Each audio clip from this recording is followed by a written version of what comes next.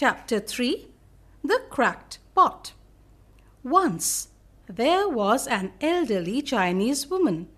She had two large pots, which she used to bring water from a stream to her house.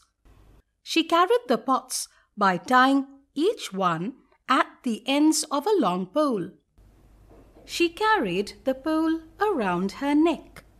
One pot was perfect, and it always carried a full portion of water. The other one had a crack in it at the end of the long walks from the stream to the house. The cracked pot was only half full of water. This continued for two years daily. The old woman brought home one and a half pots of water.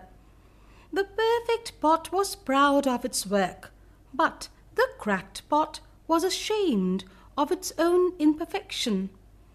It was very unhappy that it could only do half the work. It felt sad for not helping the old woman like the other pot did. By the end of two years, the cracked pot could not bear it any longer. One day it spoke to the old woman by the stream. I am ashamed of myself because I have a crack.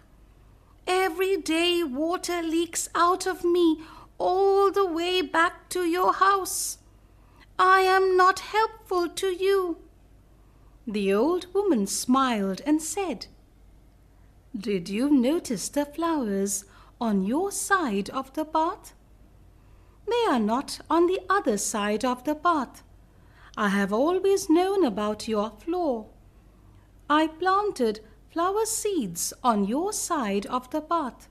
Every day when we walk back to the house, you water the flowers.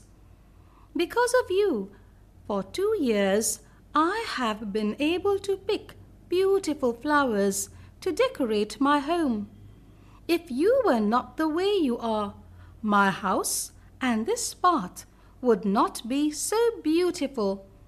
The cracked pot was very happy to hear this. It realized that everyone has different qualities that make them different from others.